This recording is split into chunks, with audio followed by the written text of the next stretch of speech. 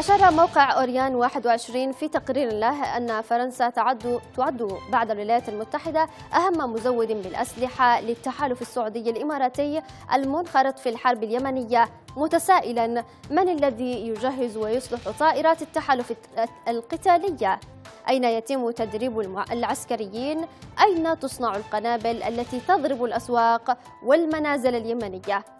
هنا تحقيق عن الشركات الفرنسية الكبيرة التي استفادت من الحرب بدعم من الدولة الفرنسية.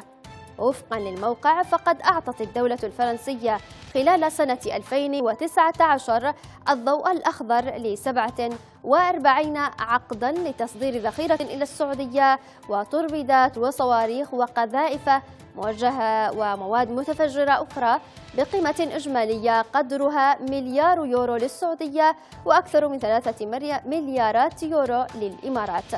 ويلفت الموقع إلى أنه بين عامي 2015 و 2021 سلمت فرنسا معدات عسكرية وذخائر وخدمات صيانة بنحو 9 مليارات يورو إلى السعودية. قائدة التحالف في اليمن ويبدو أن بعض الشركات التي تعرضت لانتقادات بسبب أسلحتها المستعملة في اليمن تجد صعوبات متنامية في توظيف المتخرجين الشباب.